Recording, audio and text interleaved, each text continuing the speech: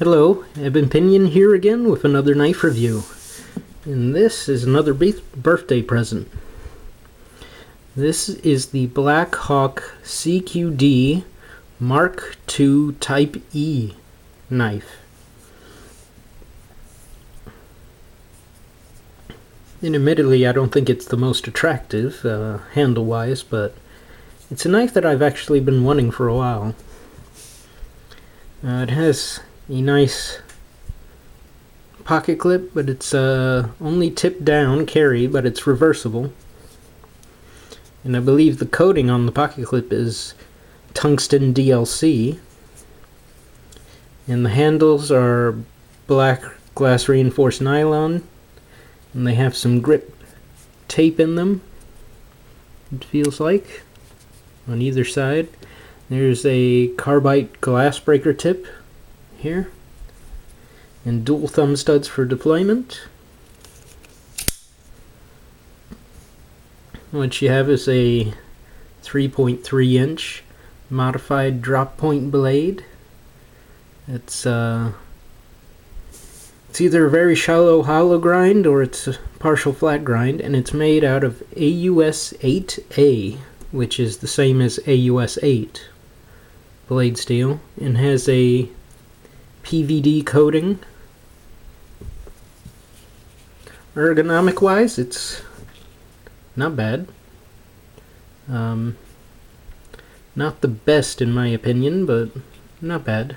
Uh, it locks up with a button lock. And it has a safety up here that you can actually slide up. And you can't close the blade. Pull it down, you can close it.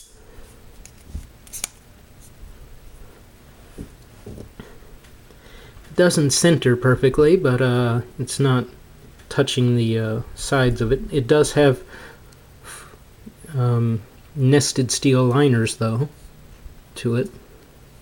So that gives it some strength. Uh, it's not bad.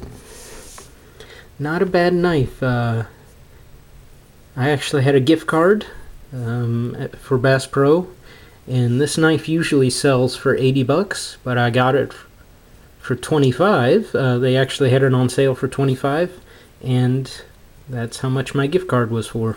So I got this practically free. So that that's really good, really good steel for this knife. Um, does have a lanyard hole back down here, so it's not a bad knife. Will uh, be another one of my rescue knives, thanks to the glass breaker. Um, quite a sharp blade. I really like that blade shape and the profile.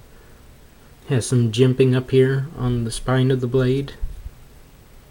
And some sort of jimping here, but um, it's not really functional, but it has it.